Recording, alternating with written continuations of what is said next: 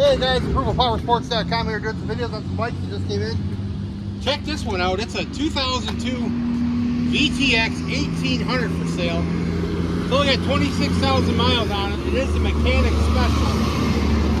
Um, this It runs, but it leaks fuel. It's got a clean green Michigan title. All kinds of chrome. You got Vance and Hines exhaust.